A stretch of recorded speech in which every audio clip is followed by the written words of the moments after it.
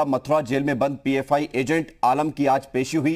Video conferencing के ज़रिए हुई पेशी के बाद कोर्ट ने जमानत पर 29 अक्टूबर को सुनवाई का आदेश दे दिया है। जाँच करने वाले अधिकारी ने कोर्ट से दो हफ़्ते का समय मांगा था, लेकिन कोर्ट ने एक हफ़्ते बाद सुनवाई करने का आदेश दिया है। रामपुर के रहने वाले आलम के साथ तीन और पीएफआई एजेंटों पर हाथरस में माहौल खराब करने, धार्मिक उन्माद फैलाने और विदेशी फंडिंग का आरोप है। इन चारों को पुलिस ने यमुना एक्सप्रेस वे से गिरफ़्तार किया था। ईडी भी इनसे पूछताछ कर चुकी है। और अब बड़ी खबर यह है कि फ़िलहाल एक हफ़्ते और पीएफआई एजेंट की न्यायिक हिरासत बढ़ा दी गई है। दो हफ़्ते की मांग ज़रूर की गई थी, लेकिन एक हफ़्ते ये आज अब मांग बढ़ाई गई है, यानी कि अब 29 अक्टूबर को इस मामले में अगली सुनवाई होगी।